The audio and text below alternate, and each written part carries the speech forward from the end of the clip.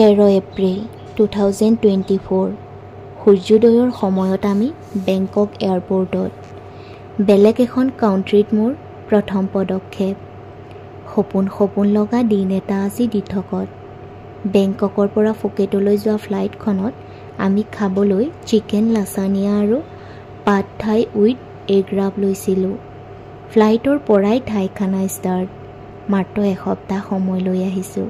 চ' প্ৰতিটো ছেকেণ্ডেই আমাৰ বাবে ইম্পৰ্টেণ্ট টাইম ৱেষ্ট কৰিব নোৱাৰি সেয়েহে দুয়ো বেলেগ বেলেগ খানা লৈছিলোঁ যাতে দুয়োটা খানাই টেষ্ট কৰিব পাৰি ফুকেটৰ পৰা ক্ৰাবিলৈ আমি কেবত আহিলোঁ কিন্তু গাড়ীত উঠিলেই টোপনি অহা মোৰ পুৰণি অভ্যাসটোৰ বাবে ইয়াৰ ৰোড ট্ৰিপটো মিছ কৰি দিলোঁ অৱশ্যে ৰাতি ফ্লাইটতো শুব পৰা নাছিলোঁ প্ৰায় চাৰে দহমান বজাত ৰাবিৰ আমি থাকিম বুলি বুক কৰি থোৱা হোটেলখন পালোহি।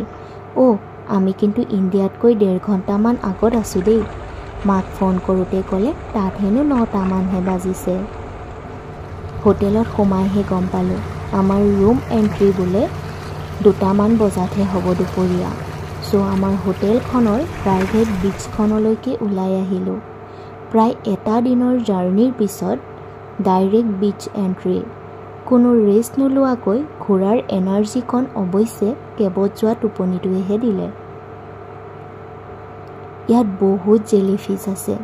জেলিফিছ গাত লাগিলে হেনো পেচাব কৰি দিব লাগে চ' এইবোৰৰ পৰা দূৰতে বিদূৰ হৈ থকাই ভাল। পুৰা শান্তিময় পৰিৱেশ। সাগৰৰ ঢৌ আৰু বতাহৰ হু শুৱনি শব্দৰ তালে তালে দুয়ো খোজ কাঢ়িছোঁ ক্লংমং বীচৰ পাৰে পাৰে। এই ক্লংমং বীচৰ এটা পাৰ্ট আমি থকা হোটেলখনৰ প্ৰাইভেট বীচ। গছে পিউৰিফাই কৰা অক্সিজেনটো ডাইৰেক্ট ল'বৰ বাবে মাছুমে গছ এজোপাৰ ওপৰতে উঠি ল'লে। আমাৰ হোটেলৰ বীচৰ কাষত থকা ডাঙৰ ৰাউণ্ড শ্বিপৰ চেয়াৰখনত মানুহ এজন বহি এনেদৰে উশাহ লৈ মেডিটেশ্যন কৰি আছিল নহয়। গোটেই সাগৰৰ বতাহবোৰ অকলেই লৈ ল'বলৈ মন কৰিছিল। এতিয়া কেনে? গছৰ পৰা ৰিলিজ হোৱা অক্সিজেনটো ফাৰ্ষ্ট মাছুমে লৈ লৈছে তাৰ পাছতে তেখেতৰ ওচৰলৈ যাব।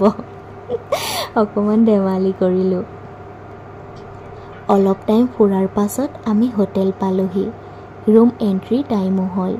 ৰুম সোমাই কাপোৰ চেঞ্জ কৰাৰ আগত লাঞ্চটো কৰি লওঁ বুলি ভাবিলোঁ। সন্মুখতে থকা ছেভেন ইলেভেনখনতে সোমাই লাঞ্চটো কৰিলোঁ। লাঞ্চৰ পিছত ফ্ৰুট জুচ ল'লোঁ। মই ল'লোঁ মেংগ' মাছুমে ল'লে কক'নাট ইয়াত জুইচবিলাকত যিটো আইচ ইউজ কৰে সেইটো বহুত টাইমলৈ নগ'লে। ইমান গৰমত থৈ দিয়াৰ পিছতো তিনি চাৰি ঘণ্টালৈ নগ'লে।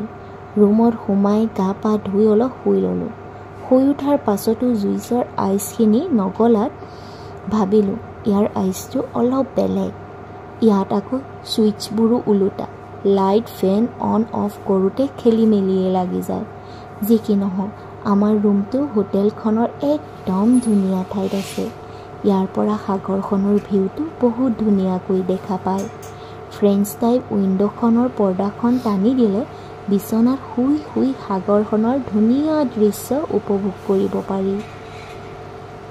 আবেলি ছানছেটটো ৰুমৰ পৰাই ধুনীয়াকৈ দেখি। ছানছেটৰ সময়ত সাগৰখন অলপ পিছুৱাই যোৱাৰ দৰে লাগিল। সন্ধিয়া ওলাই আহিলোঁ। ৰাবিৰ উইকেণ্ড নাইট মাৰ্কেটলৈ। মাৰ্কেটখনত খানা শ্বপিঙৰ লগতে কিছুমান এণ্টাৰটেইনমেণ্ট প্ৰগ্ৰামো হৈ আছিল। আমি কিছুমান চি ফুড ট্ৰাই কৰিলোঁ। যি টি চি ফুড খাবলৈ নোৱাৰি বুলি শুনিছিলোঁ কিন্তু মাছুমৰ আগৰ এক্সপেৰিয়েঞ্চ থকাৰ বাবে খাব পৰাবোৰহে খোৱালে। চ' মই সকলোবোৰ খাই ভালেই পালোঁ। অ' আজি আমি বীচত দূৰতে বিদূৰ হৈ থকা জেলিফিছো খালোঁ। গ্ৰিল কৰি থোৱা আছিল।